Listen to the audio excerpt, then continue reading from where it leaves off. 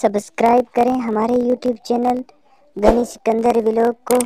और साथ में बेल आइकन प्रेस कर दें ताकि हमारी आने वाली वीडियो आप तक ज़रूर पहुंच सके